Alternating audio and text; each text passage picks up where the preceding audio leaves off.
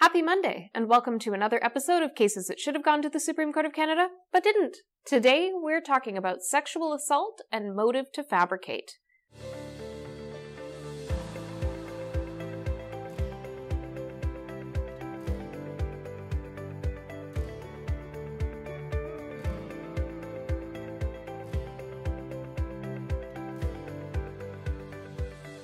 Cases that should have gone to the Supreme Court of Canada, but didn't.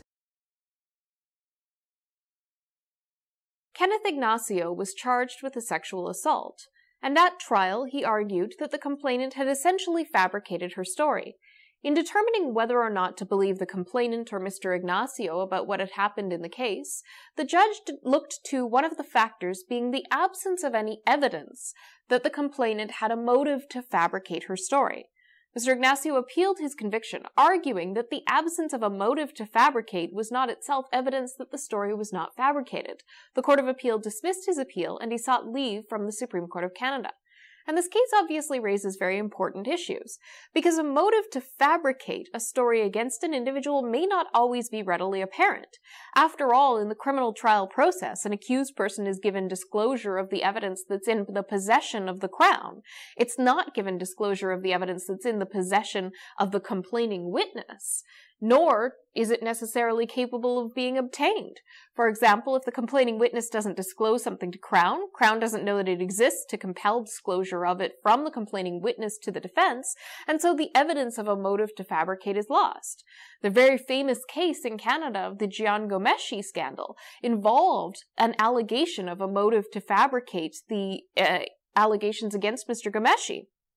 And so that evidence was only obtained because Mr. Ghomeshi had kept certain communications that had occurred between the complainant and other complainants in the case. But if that evidence doesn't exist, and there's no evidence of a motive to fabricate, that doesn't necessarily mean that there hasn't been fabrication nor does it mean that there has been fabrication. But for a judge to conclude that the absence of evidence of a motive to fabricate somehow bolstered the credibility of a witness is something that the Supreme Court of Canada should get into because of the limitations on what can be disclosed to the defense and the limitations on what defense is available to get. Remember too that this is all within the context of recent changes to the criminal code that have made it even more difficult to use evidence that you have that might put into question the motives of a complainant by allowing allowing the complainant to appear in pretrial applications to oppose the admission of that evidence at the trial proper.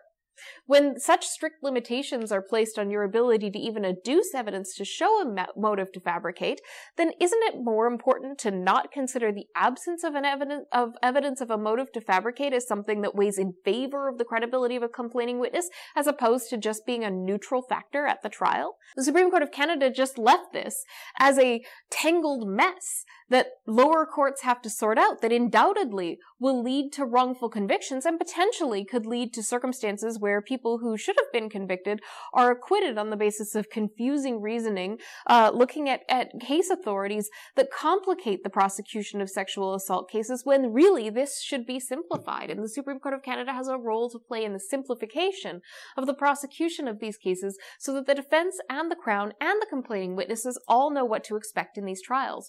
And unfortunately, the Supreme Court of Canada missed an opportunity here to deal with these problems, to deal with the issue of, of the complexity of disclosure and adducing evidence and putting the truth before the court in sexual assault cases.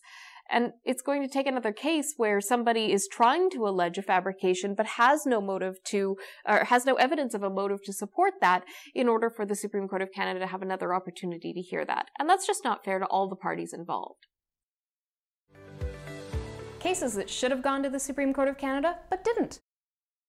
Thank you for tuning in to another episode of cases that should have gone to the Supreme Court of Canada but didn't. I'm Kyla Lee at Acumen Law Corporation. Thank you to Brazen Bull Creative for putting together these videos. Please like, subscribe, and share with your friends.